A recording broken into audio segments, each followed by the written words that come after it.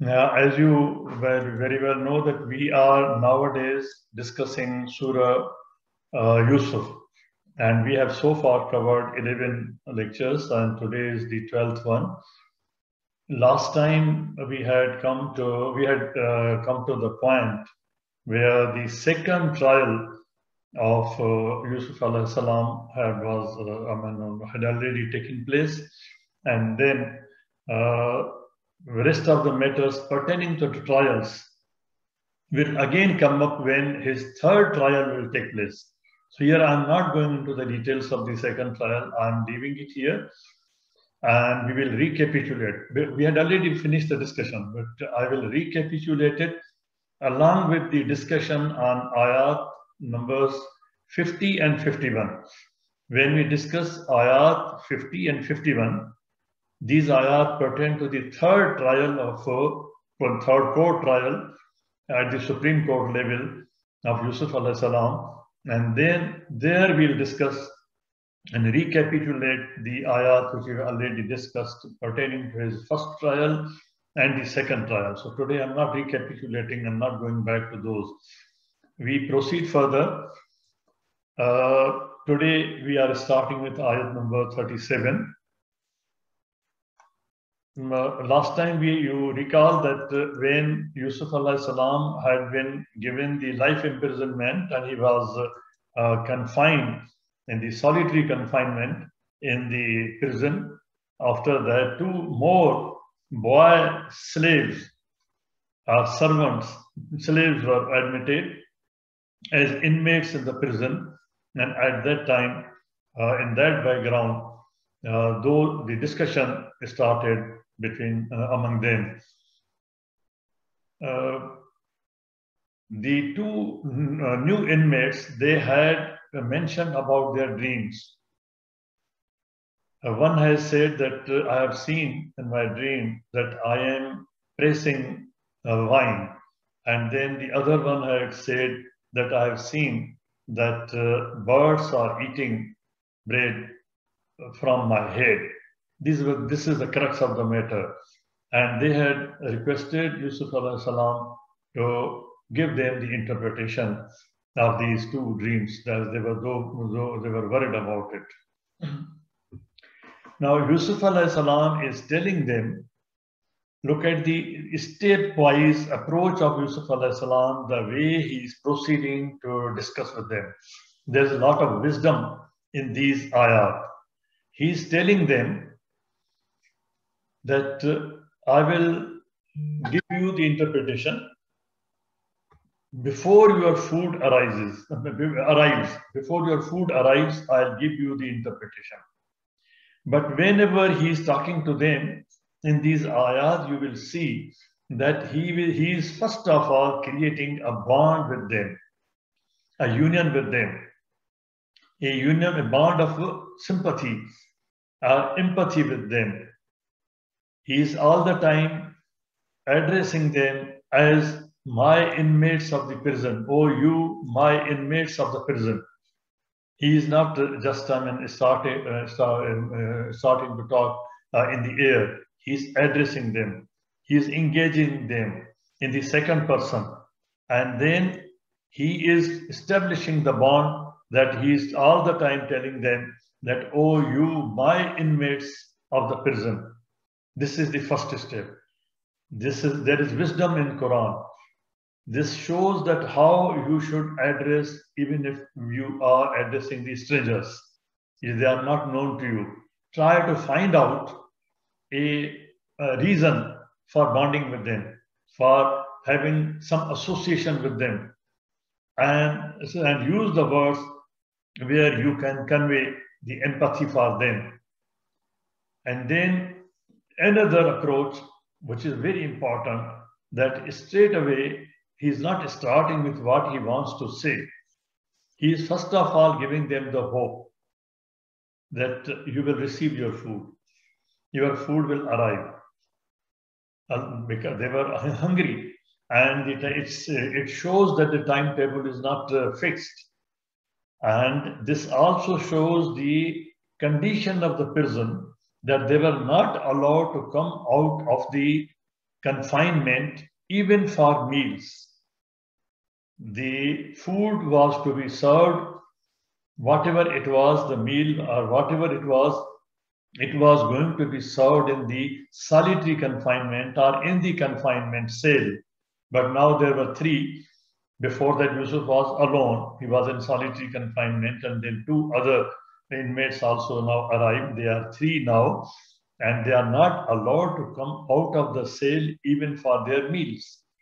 The food will be served within that. Now, this is the situation when the uh, uh, condemned prisoners are put in a cell. And this shows that all of these three were being treated as the condemned prisoners. In the case of Yusuf salam, the sentence was not determined. How many years, how many days he will be in jail.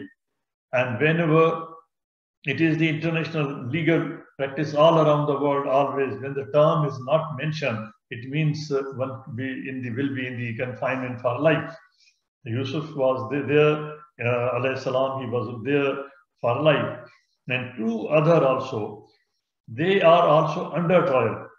Now, this is another aspect of the case that although these three persons are not yet convicted, they are under trial. The interpretation of the dream will tell us.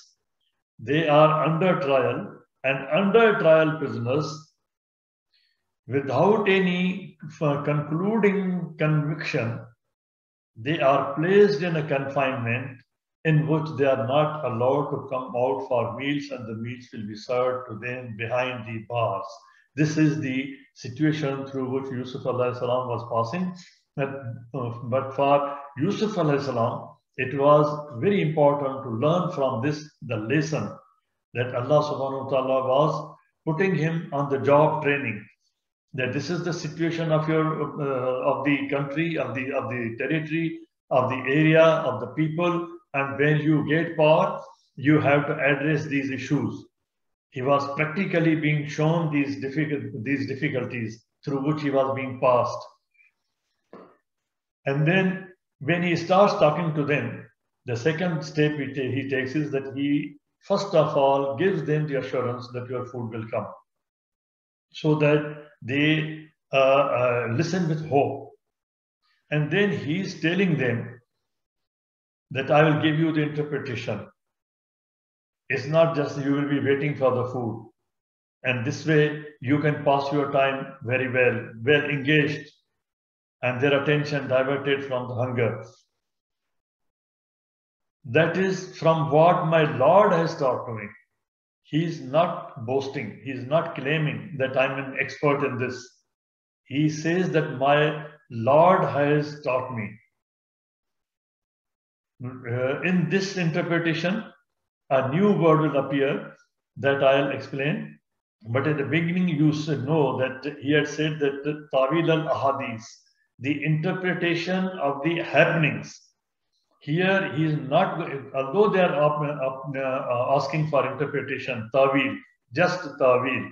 But in the next ayat, you will find that he is not only giving the interpretation as Tawil, but he is giving the interpretation as a legal interpretation also of their trial and the sentence which is going to be passed.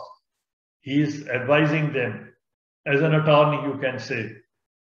He is going to give them a fatwa. The word used in word, but the word which Allah, uh, Yusuf will use is fatwa. So here he is telling them that I am going to give you an interpretation a neutral term, but then he will give them a legal interpretation when we come to that ayat. That kindly keep in mind. And he says, It is from my Lord. Indeed, I have left the religion of a people.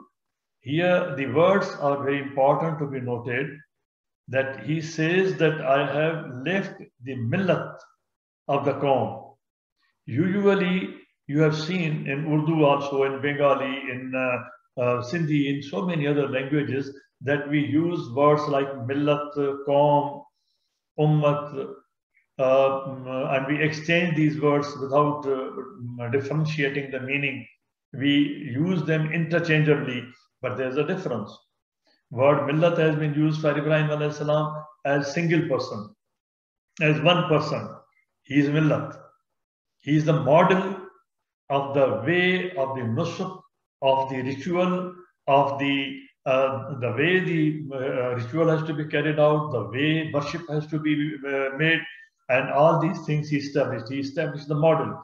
So here, Yusuf salam is telling them that I have left the ways or the path of the people gone who were not believing in Allah. He is first of all introducing himself that I am so and so, and I'm going to talk to you on the subject so that they are not in any doubt. He is giving them the subject matter, the topic of it, and the background. He's telling them that I'm going to talk about the theology. I'm going to talk about monotheism. And this is the background that I'm not only talking uh, to you on the basis of only theoretical, theological uh, um, understanding that I'm talking to you from my practical experience. That before this, what I was, and now what I am, what I have learned, and what I have experienced, I'm talking to you with full confidence on the basis of theory and also on the basis of my practical life. That is how I'm going to address these issues. And here there is one important point which he is making to them that those who don't believe in Allah are those who don't believe in the last day, Akhirah. If one believes in the Akhirah, that there will be resurrection, there will be the last day, there will be accountability, there will be judgment, it means there is Allah. He is going to do all these things. So these two concepts go together. And there are three ayat we had discussed some time back, which, uh, in which the definition of Mu'minun is given. A question was raised, who's Mu'min? And two fundamental elements or the essential elements without which there cannot be any Iman is that one who believes in Allah and he believes in the judgment of Allah on the last day. And in, in um, at many places in Quran, we have seen that Allah subhanahu wa ta'ala tells that people violate the law, they commit excesses uh, because they don't believe in the judgment, they don't believe in the last judgment. In our interrelationships, for example, relationship between two persons, within the family, between parents and the children, between husband and wife, if we believe that whatever I do, in spite of the, the behavior of this other party, I will get my uh, account and he will or he or she will get his own account and we will be judged on the basis of that account and we are being recorded, we are being watched and there will be a judgment.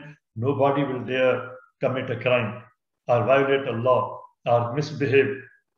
So here he is telling them a very important aspect of the belief in the monotheism and in theology that besides believing Allah, it is very important ingredient, uh, it is the essential ingredient without which Iman is not complete and cannot be, that is that you have to believe in the last day.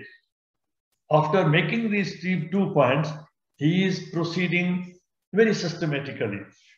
Now he is giving a little more introduction, not only to himself, but to the belief. At that time, the belief was being preached, the monotheism was being preached, particularly monotheism. There were many other beliefs. There was polytheism. But here he is referring to the belief which Ibrahim was preaching. After completing Surah Ar-Rahman, uh, uh, Yusuf, I have said that we'll inshallah take up Ibrahim salam. Ibrahim salam is the history of revelation for us in the recorded history of revelation, the recorded history of revelation starts with Ibrahim salam. So he is referring to the deen which was coming up and the message which Ibrahim salam was de delivering. So people at that time knew this by the name, by the person who was delivering the message. So he's telling them that this is authentic. Whatever I'm telling you, it has a lineage, it has a continuity. It's nothing new from my side. I'm not telling you something new, but I'm continuing with the same thread and I'm picking up the thread from Ibrahim alayhi salam, from whom it came to Isaac alayhi salam, and from it came to Yaqub alayhi salam. And now I'm telling you in the same sequence that you don't uh, associate any God. In your obedience, in your submission, every act we do is ibadat. When we pass a life according to the rules, the laws which have been enunciated, it is ibadah. And then Yusuf is telling them that it is because of the blessings, favors of Allah subhanahu wa ta'ala that we have our family, our forefathers, my forefathers have adopted this line.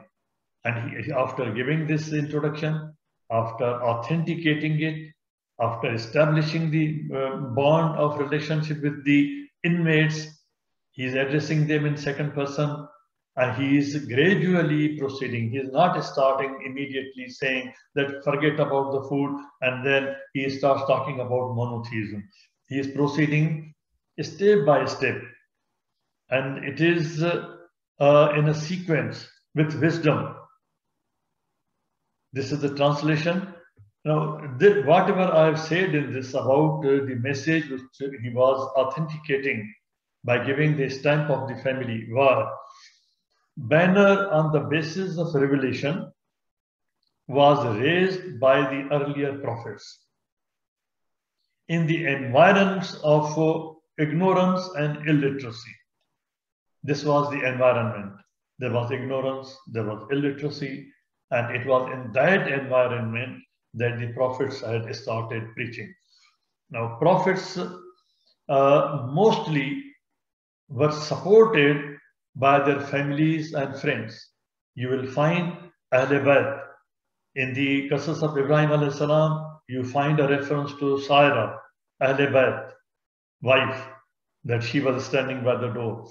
You find the reference to Al, Al Imran. You find the reference to brothers, Harun, you find the uh, reference to the friends, to the limited number of people around them, and mostly the family, mostly the tribe. That is why at that time, that was the initial period, beginning, he was, Yusuf salam is using a methodology, starting with the introduction to the people who are uh, with whom this was being popularized, it was becoming popular, till it came to be known far and wide. Till at the time of Ibrahim alayhi salam, Isaac alayhi salam, Yaqub alayhi salam, even Yusuf alayhi salam, it was very limited. There were no mass there was no mass communication. There was no media. Therefore, the religion, particularly monotheism, was naturally identified in those times, in those days, with the names of those prophets. You will see when Pharaoh submits and he wants to uh, commit Tawbah, he says, Now I uh, believe in the Lord of Moses, Lord of Harun. They, they refer to monotheism, even to monotheism or to this message as the message from a particular prophet, and they refer to the Lord for which that prophet is preaching as his Lord. So here, this is the wisdom of the time, time frame in which Yusuf alayhi salam was preaching, that he is giving introduction, authentication, and he is giving the continuity that how it is proceeding. In that background, he is telling them. As I said that he had established the bond of relationship with them Ya Sahibi Sijn, O my inmates of the prison, O my brothers of the prison, O my companions of the prison, O my comrades of the prison. He is not differentiating himself that since I belong to the lineage of the prophets, Ibrahim, Isaac, Yaqub, or I've come from the house of Aziz here. He is not establishing and he is not boasting that I'm giving you anything from my side. He is first he is establishing a very strong bond of relationship with them. Oh my my comrades, he's telling them. There's another sequence with what sequence he is uh, I mean moving. Immediately he is not coming to the dream he is now giving them, explaining them the background, the ethos, the legal ethos, the situation through which Egypt was passing at that time. It was because of the conflict of power at that time. I'll show one or two slides on that also, that why there was a conflict of power. There was no writ of law. There was no equality before law there was no due process of law. Everybody who had whatever power he had, he took the law in his own hands. Zuleikha took the law in his hand, in, in her hands. Immediately, before the proceedings could take place, even the initial one, when she is talking to Aziz in the home at the door, when he met both of them, she is telling him that he should go to jail and he should be given a painful punishment. This is this shows that anybody who has a power, who had a power, he could take the law in his own hands. He could issue his own uh, orders. And this what happened that during the second trial, which was against the group of women, at that time it was against the group of women, but they were not even investigated. The men who were in, then also in fact the affectees, the interested parties, they are taking a, making a judgment that although there is no evidence, this time there is no evidence, no shahada, but on the basis of the science, just the corroboration, he's giving them, they are giving Yusuf salam the punishment of life imprisonment. So there are lots, lots of power. There is there uh, anybody who has the, the uh, interest in it, he can take the law, and he, if he has the power, he can take the law in his own hands. So he is telling them, you are in jail, and they know that. And, at the bigger level, at the higher level, it is because of the political instability. This happens in the countries, this happens in the societies where there is instability, where there is power clash, where there are warlords, there's no authority, there's no writ of law. Without writ of law, there cannot be due process of law. And without due process of law, process of law, process of law, there can the equality before law cannot be ensured. So all these things are missing because of the instability. Now he is telling them that this, this he is giving the political interpretation that it is go it goes to the top. It is here that you need the stability. He said, Arbab mutafarikun khair or Allah Wahidul Kahar. From this worldly experience, from this worldly example, you can understand that if there are more lords who have conflicting interests, who are fighting among themselves, in another ayat also Allah subhanahu wa ta'ala tells us very clearly that if there were more lords in the heavens, they would always fight for their power, for their influence, for their territory. So here he is pointing out that Arba, he is using the word Arba, not Rab. He is using the Arbab of this planet, of this territory, of that city, of that country, that the uh, the people who wield authority, power, if they are more in numbers, is it a good administration or the administration in which there is one Wahid, Kahar. Kahar means who irresistibly can implement his orders. Irresistible. Who's irresistible in his management, in his administration. So he's asking them that in such a situation, one Lord who is one irresistible, who can implement his orders is better, or the people, the warlords uh, who have their own uh, uh, conflict of interest and they implement their orders as it has been done in my case, as it has been done in your case, as it has been in his case. And this is the situation that we are here. And then, in spite of that, he tells them what is the way to come out of that. He is giving them the political philosophy, the social philosophy, that don't obey these multiple or multiplicity of lords. These are only names. They are not eternal. They are not, they are not Wahid al-Kahar. They are not irresistible. You can defeat them. You can defeat these, howsoever superior or super they seem to you. Don't obey them. Obey the law. Obey the moral. Obey what is, has been ordained to you in your nature. The Lord of the nature, He has made you. And then He is proceeding further and coming directly that we have been ordered, we have been ordained, we have been guided by Allah subhanahu wa ta'ala that we don't obey these warlords, these fighting lords who are making us fight, who are uh, committing injustice against us, but we obey the Lord who has given us the moral law of interdependence, of uh, mm, uh, cooperation, of sharing, of caring, of compassion. And then he tells them that this is the deen, this is the law, this is the deen. Other definitions, people give a lot of definitions of, uh, of deen.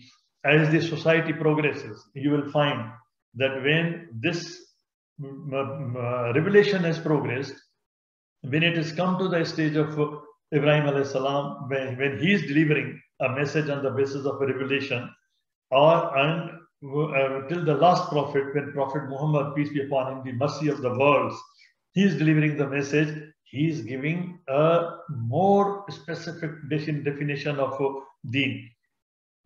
Akim, akim salat wa atu zakat, zalika deenul qayyim. This is one aspect. But here he is giving just the initial at that time. These things, the ritual and other things were yet to be established there. He was talking to those people who didn't know about it. They were totally new to this. He is not talking to them about uh, Rosa, about Song, about Salat, about Zakat. He is talking to them the basic thing that first of all, you come to believe that there is one Lord and he is irresistible. He has given the law. The law which he has given is the law of nature, which has compassion, which, which has remedy for all these things from which we are suffering. That is why I'm using the word compassion. And that is the deen. Very simple definition at that time. He is not starting with uh, Sono Salat. He is starting with a very simple thing. He's talking to them who are not Muslims who are not yet accepted. History of ancient Egypt. Why word Arbab has been used? History of ancient Egypt is a series of stable and also comparatively unstable intermediary intermediate periods. One problem with the ancient Egyptian history is that we don't have a sequence. We don't have a periodization of history. In fact, the concept of periodization, exact periodization as a, a technical term, has started by uh, started in Europe, but we are talking of the ancient Egypt. At that time, there was no sequencing. With every dynasty, it was not only the date of that dynasty started, but a new calendar started. That is why we have a problem in understanding the ancient history. Now, at that time, whatever the, uh, the uh, historical uh, material uh, available, it has been uh, periodized in broad categories like old period, middle period, and new kingdoms. New kingdoms, when we refer to the period of new kingdoms, it is the period of Yusuf alayhi salam. Till then, it was unstable. After that, when he took over power, he made the reforms, the stability started. Egypt reached the pinnacle of its power in New Kingdom. After which it entered a period of slow decline. Pharaohs were, were at the pinnacle of power. They came, the, the pharaohs who reached the pinnacle of power, it was after Yusuf salam and the foundation was laid. And that is the period of Moses salam, Musa salam. So Yusuf salam laid the foundation. After Egypt's central government collapsed, there were arbab mutafarriqun. There was no Wahidul Kahar. Collapsed at the end of Old Kingdom, regional governors could not rely on king in the crisis. Food, there were food shortages, which these two people in the dreams, in the interpretation of, uh, of these two persons is indeed invisible. And in the dream, which their king is seeing, food shortages and civil wars. It is in this background, the social background, the political background, the current prevailing situation in which Yusuf salam is making his preach, his, his, his speech. So what is the lesson? The lesson is whenever you talk, whenever you preach, whenever you convey the message, convey in the prevailing situation. And he's giving a simple formula. He's not going for Somo Salat, he's going for Dinul Qayyim. And what is that in very brief terms? And he's asking them about Arbab Mutafarikun, the situation. Local rulers were competing for territorial control and political power.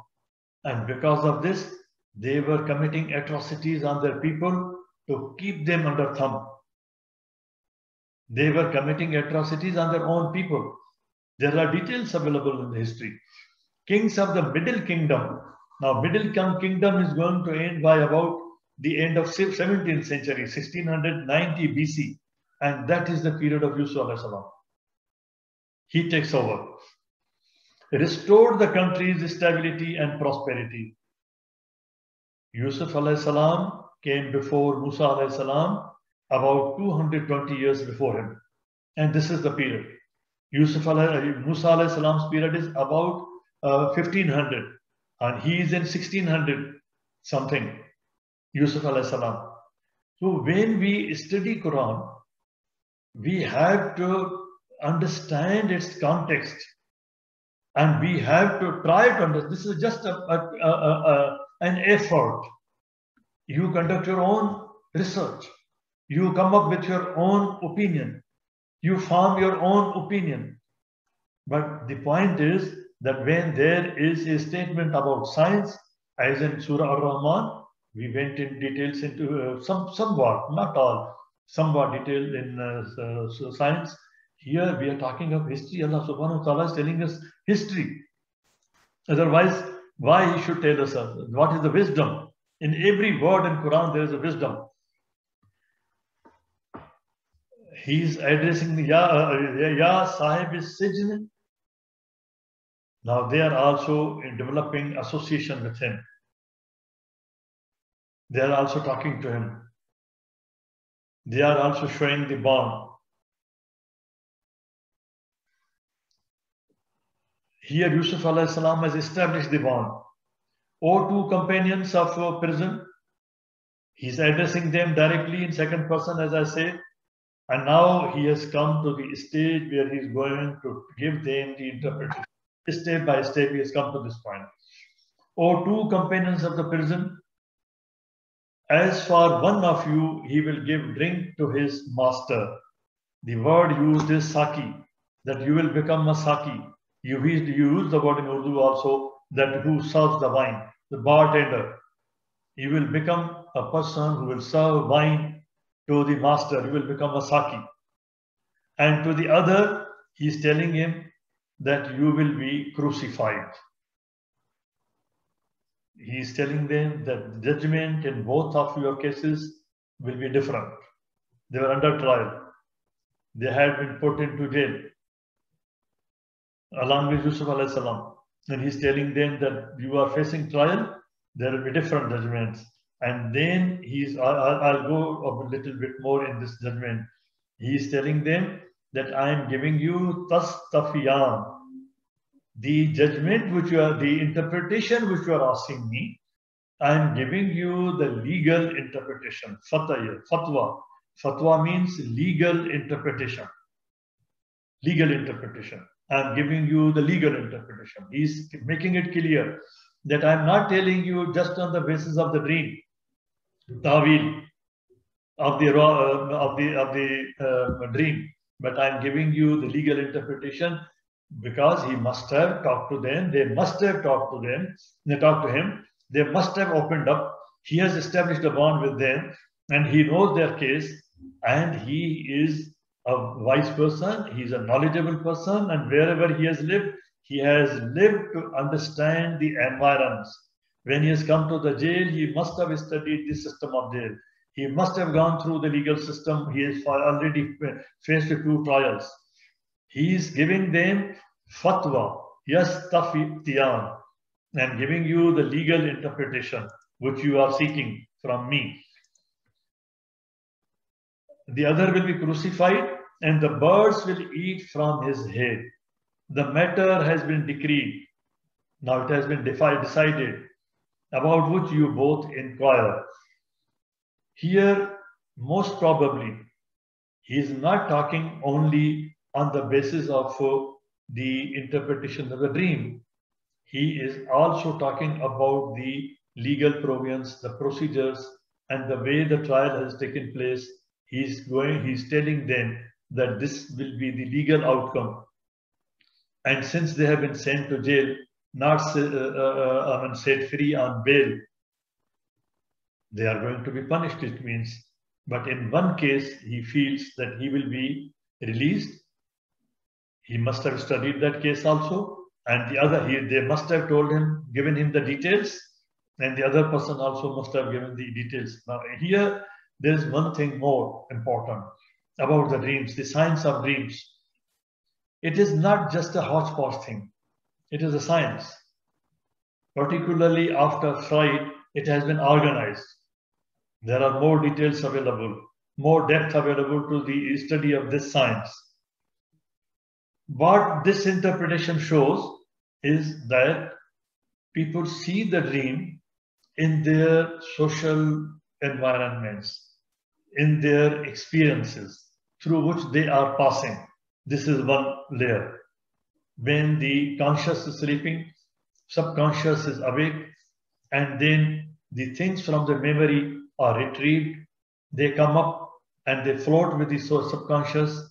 At that time, the background canvas is that the film is going on in the social or the environmental uh, background and the canvas it is going on so one is the social or political or the environmental background. Number two, the scientific science shows that it is person's own physical state. Whether he is hungry, they are hungry, they are under stress. The person who is more hungry is seeing something about eating, eating from his head. That shows the worrisome state of his affairs through the trial through which he is, he is passing, the case which he is facing, and for which the punishment is crucifixion. And his subconscious is fearing the death. That the penalty is not only death, but it is crucifixion. So this dream has scientific aspects. It has scientific background. It has to be understood. It has to be studied. But in the these studies, we have never carried out in this background. We have learned it from others. Freud has given these theories. And then these uh, uh, dreams in these two backgrounds, one is the, the social or the environmental background, and then the physical, internal and the condition of the body, what one has uh, eaten, how uh, he is feeling about his uh, internal uh, and external uh, physical situation of the body, and then is overall relationship. Overall relationship with the problem, which one is facing, which is riding the mind, which has taken control of the mind. One will see the dreams under that influence. So there are other aspects also. I'm not going now into these uh, details, but Yusuf salam is giving them the interpretation, taking into consideration all these scientific facts which Allah subhanahu wa ta'ala has told him, has given him the ilm, word ilm has been used. Allah has taught him. Allah, He has taught him. This is ilm. And on the basis of the ilm which Allah has given him, He is giving the tawil where tawil is required, and He is giving fatwa where legal interpretation is required. To the king, he will give the tawil. That those ayat will come afterwards. But to these two uh, uh, persons in the jail, inmates, he is giving them the legal ruling. Now these are the ayat where word fatwa has been used. Yuftikum, yuftikum. Uh, and then here iftuni, give a ruling, give a ruling. Ruling, legal interpretation. Ruling means legal interpretation legal interpret these are the words used in quran yastaftunaka yastaftunaka Egyptians executed people by impaling a pointed stick. And Quran tells us that if Pharaoh, Pharaoh, Pharaoh was the lord of sticks. Through the they were impaled through the victim. When he was impaled, he was uh, hung uh, against the wall or against any stake. Centuries later, the Romans executed people by fastening the victim to a cross. They made this change. Egyptians used the same thing, but then the Romans slightly modified it that they placed it on a cross. That is why we see the cross of uh, Jesus on a cross with ropes or nails, and they call this crucifixion. So one person was going to be crucified, and then it also shows the disrespect for the human being and disrespect for the body of the human being that the bodies were thrown away to the birds, to the vultures, to the wildlife. And this is what Yusuf salam is telling that when that person will die, on the cruci- uh, due to crucifixion. He will be crucified. His dead body will be thrown, and the birds will eat from his head, from his body. This is the interpretation. In the background of the laws prevailing at the time, the legal system, the social system, the political system, we have to understand when Quran is talking of history, we have to understand through history. When it's talking about when, talking, when it is talking about science, we have to understand it through science. And he is talking about Amr, that it has been decided, it has been, judgment has been made. Almost the judgment has been made. In the case of Yusuf alayhi salam, how the judgment was made. To the Al-Amr, it has been judged, it has been decided. Or some people will interpret that it was, it has been decided by Allah. Yes, everything is decided by Allah, but he is here giving a scientific interpretation and a legal interpretation. And he's, he's telling them that the situation appears the way they have confined you in the death cell shows that matter has been decided and you are going to be crucified. As for the mention of crucifixion in the time of Moses, when the Pharaoh's magicians believed in the message of Moses, the Pharaoh threatened them by saying that I will use the sticks. I will crucify you. This was the, uh, the uh, practice at the time of uh, uh Yusuf salam. During the period Yusuf salam lived in Egypt and he made the reforms because he saw these things. And in the contemporary Mesopotamia, I have shown you in some other lecture that this law of crucifixion and impalement and stakes was available under the Hammurabi law. So that was the law of the time. And that was changed afterwards. that had to be changed. Now, these are the ayah which refer to these stakes and crucifixion by the Pharaoh, which he is, uh, with which he is frightening his uh, people. I uh, stop here.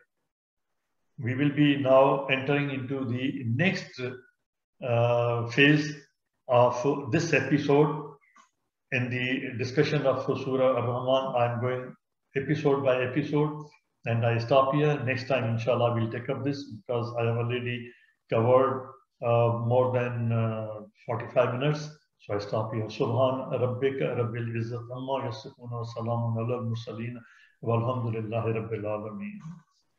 اللهم صل وسلم وبارك على سيدنا محمد وعلى آله وصحبه، اللهم اهدنا فيمن هديت وعافنا فيمن عافيت وتولنا فيمن توليت وبارك اللهم لنا فيما أعطيت وقنا واصرف عنا شر ما قضيت فإنك يا ربنا تقضي بالحق ولا يقضى عليك. اللهم ادخلنا برحمتك في عبادك الصالحين، اللهم اخرجنا من ظلمات الجهل والوهم إلى نور العلم.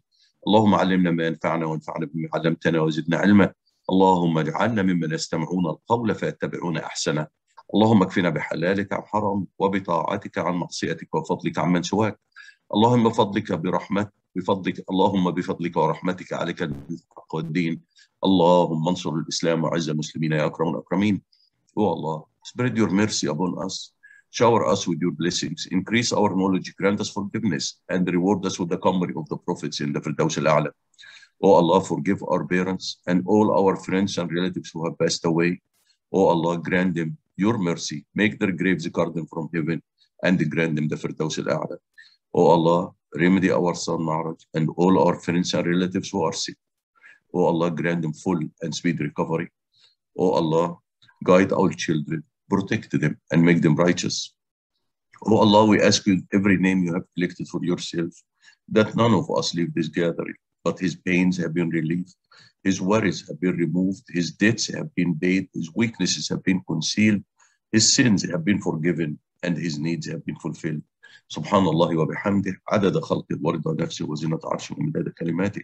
سبحان الله وبحمده عدد خلقه ورضا نفسه وزنة عرشه ومداد كلماته. سبحان الله وبحمده عدد خلقه ورضا نفسه وزنة عرشه ومداد كلماته. والعصر إن الإنسان لفي خسر إلا الذين آمنوا وعملوا الصالحات وتواصوا بالحق وتواصوا بالصبر. وآخر دعوانا الحمد لله رب العالمين والصلاة والسلام السلام على خير المرسلين. اللهم صل وسلم وبارك على سيدنا محمد وعلى آله وصحبه وسلم. والسلام عليكم ورحمة الله